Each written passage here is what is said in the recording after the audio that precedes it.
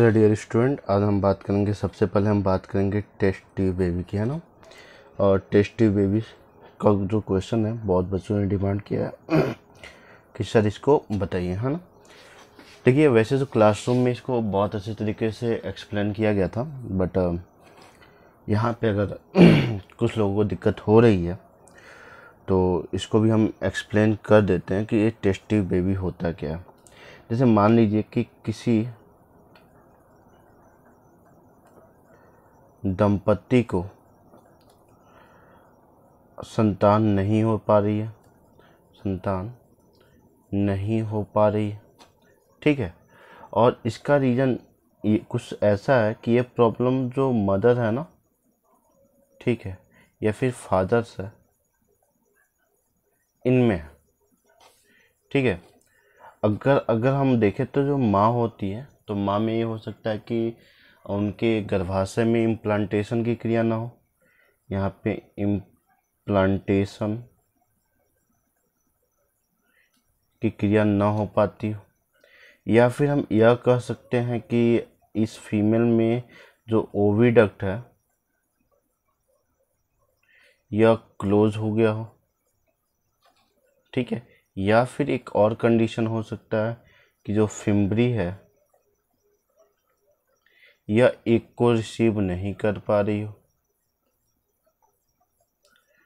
Receive नहीं कर पा रही हो? एक कारण ये हो सकता है। पिता में क्या कारण हो सकता है?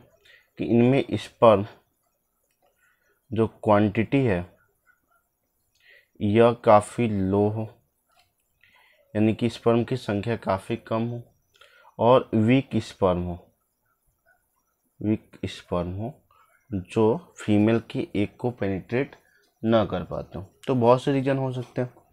तो ऐसी दंपतियों में, ऐसी दंपतियों में हम जो होता है कि फर्टिलाइजेशन की क्रिया फर्टिलाइजेशन की जो क्रिया होती है, वह शरीर के बाहर, शरीर के बाहर, शरीर के बाहर एक टेस्ट ट्यूब में कराते हैं। एक टेस्ट ट्यूब में कराते हैं। ठीक है? अब चूँकि ये क्रिया शरीर के बाहर होती है, इसलिए इसको इन विट्रो फर्टिलाइजेशन बोलते हैं।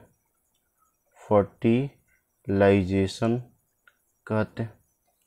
और चूँकि यहाँ पे जब टेस्ट ट्यूब के अंदर फर्टिलाइजेशन की क्रिया कराई जाती है, ठीक है? तो यहाँ पे टेस्ट ट्यूब के अंदर बेबी का पूरा डेवलपमेंट नहीं होता, थोड़ा सा होता। ठीक है? क्योंकि यहाँ पे फर्टिलाइजेशन टेस्ट ट्यूब के अंदर हो रही है और टेस्ट ट्यूब के अंदर ही फर्टिलाइजेशन के बाद क्या बनता है? जाइगोट बनेगा। डिप्लाइड जाइगोट बनेगा। अब इस जाइगोट से जो बेबी उत्पन्न होता है, जो संतान उत्पन्न होती है, उसे टेस्ट ट्यूब बेबी कहते हैं। बेबी कहते हैं। सिर्फ़ इसलिए क्योंकि फर्टिलाइजेशन कहाँ पे हुआ है? टेस्ट ट्यूब के अंदर और वहाँ पे जाइगोट बना है। बाकी का इसका एम्ब्रियोनिक जो डेवलपमेंट होगा, थोड़ा बहुत यहाँ होगा, बाकी सभी दूसरी माँ के गर्भ में होगा।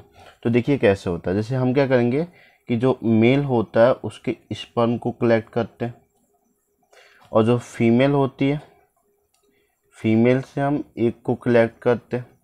और एक आदर्श मीडियम में, एक आइडेंटिकल मीडियम में टेस्ट ट्यूब के अंदर हम स्पर्म का और एक का, दोनों का फर्टिलाइजेशन कराते हैं। जिससे यहाँ पे क्या बन जाता है? जाइकोट बन जाता है। यहाँ पे डिप्लाइड जाइकोट बन जाता है। ना? तो यहाँ पे जो जाइगोट बना है वो किसके अंदर बना है? टेस्ट ट्यूब के अंदर बना है। ठीक है? अब इस जाइगोट से जो बेबी डेवलप होगी, उसे क्या कहेंगे? टेस्ट ट्यूब बेबी कहते हैं।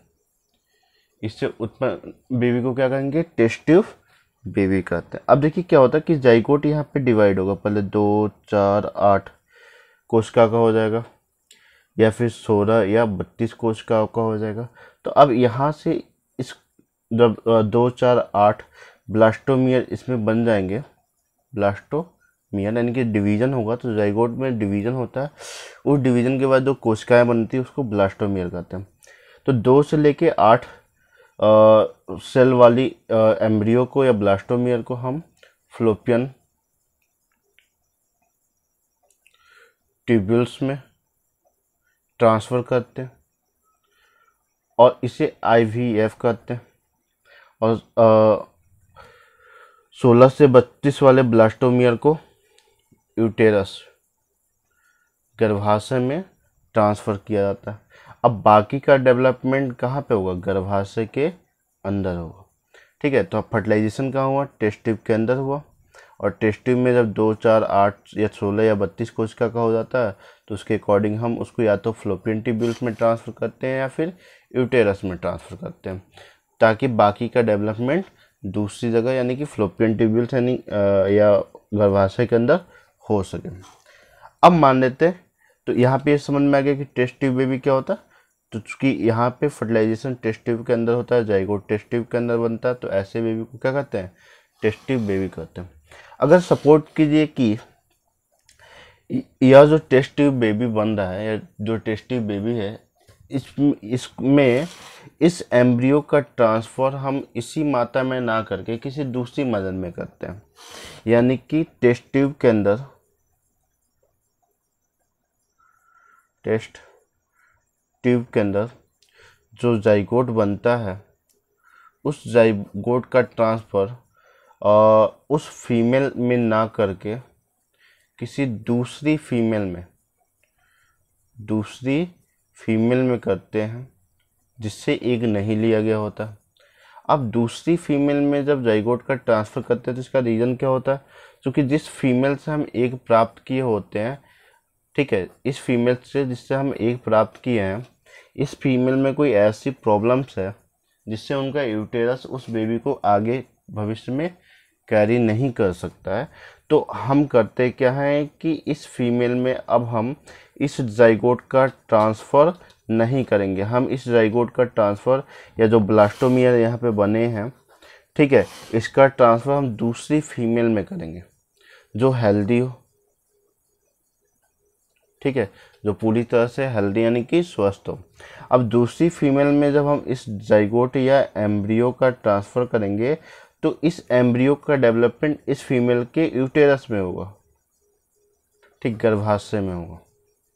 और यह बेबी को जन्म देगी। बेबी को क्या करेगी? जन्म देगी।